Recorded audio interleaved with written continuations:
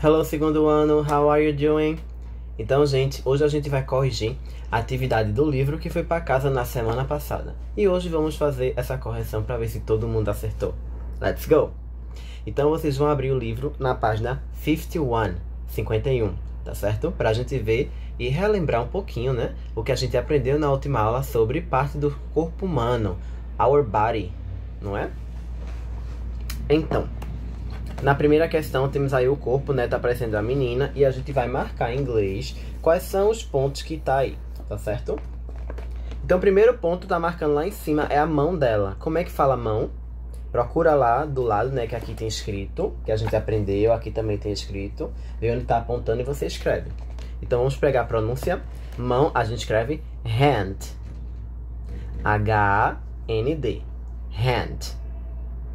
Depois vem o pescoço, que é neck. Neck. Depois vem a parte do peito, que é chest. Chest. Que é C-H-E-S-T. Chest.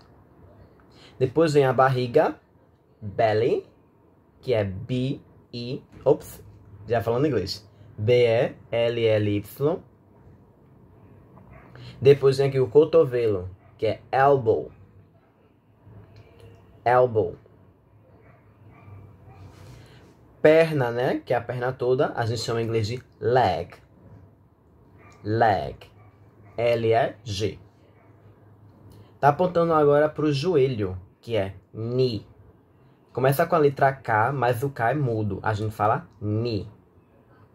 Então, K-E-K-N-E-E. E por último, que é o tornozelo, que é ankle. A-N-K-L-E. Ankle. E aí? Completaram? Todos, todos os nomezinhos? Vamos para a próxima questão. Na questão 3, diz assim: Read and draw. Leia e desenhe. Na, na letra tem foot. Lembra o que é foot? Foot é pé. Então, nesse quadradinho, vocês vão desenhar pé. E no outro quadradinho, letra B, tem hand, que é mão. Ok? Então você desenha uma mão. No quinto, a gente aprendeu na última aula também algumas coordenações motoras, algumas atividades, movimentos que podemos fazer utilizando o nosso corpo. No primeiro, tem um menino aí que ele está pulando, não é? Seria então letra D. Hop on your left foot. Hop on your left foot. Pule ou salte com seu pé esquerdo. Ele tá pulando com o pé esquerdo, né? A menina aqui de cadeira de rodas, ela tá o quê? Batendo as mãos. Então, seria a letra C.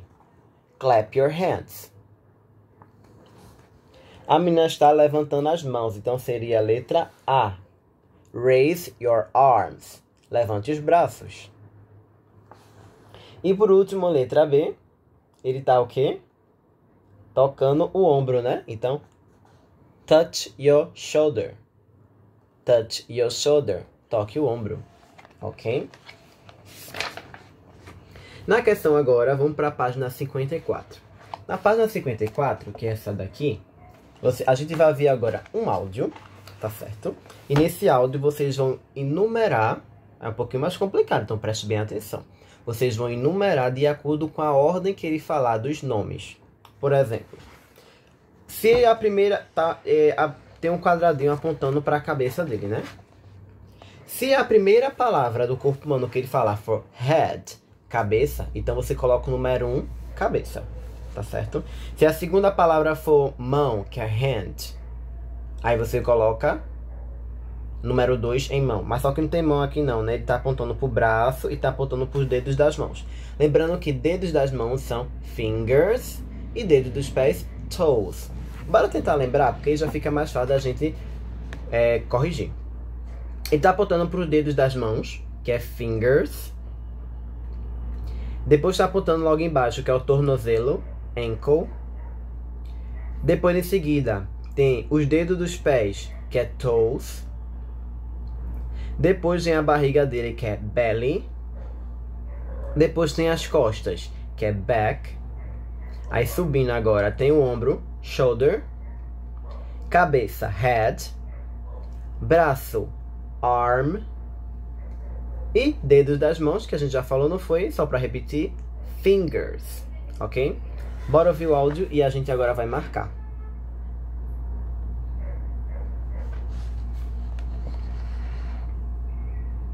Page 54.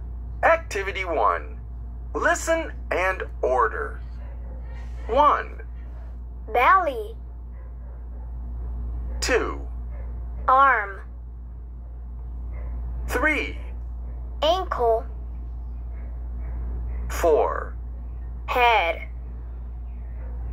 5, finger, 6, toe,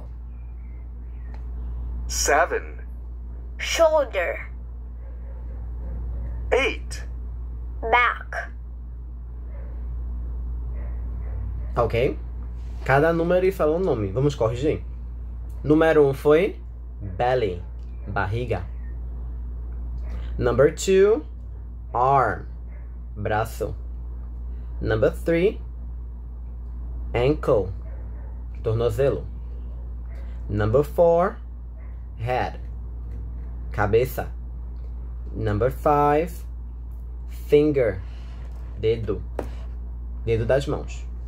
Number 6, toes, dedo dos pés. Number 7, shoulder, ombro. E por último, number 8, back, costas. Ok? Na dúvida, volta um pouquinho o vídeo e escuta novamente a pronúncia para a gente ir aprendendo direitinho como eles falam, ok? So, that's it for today, guys. See you next week. Bye.